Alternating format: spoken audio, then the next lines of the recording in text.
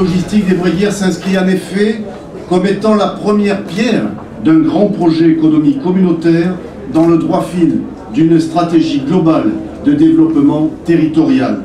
Projet d'agglomération adopté en février 2007, schéma de cohérence territoriale en cours d'élaboration, étude de développement économique de l'Art-Sud, schéma de développement commercial, schéma numérique et boucle numérique très haut débit, zone d'activité d'intérêt communautaire, relance de l'attractivité des cœurs de ville, notamment grâce à un FISAC intercommunal.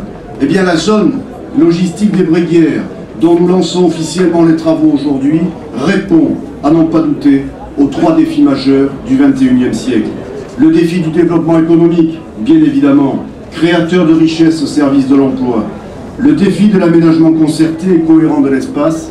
Et le défi de la protection de notre planète et de notre environnement. Cette zone d'activité générera d'ici 5 ans, on vous l'a dit et répété, mais c'est tellement important qu'il faut le marteler, créera donc 1000 emplois directs.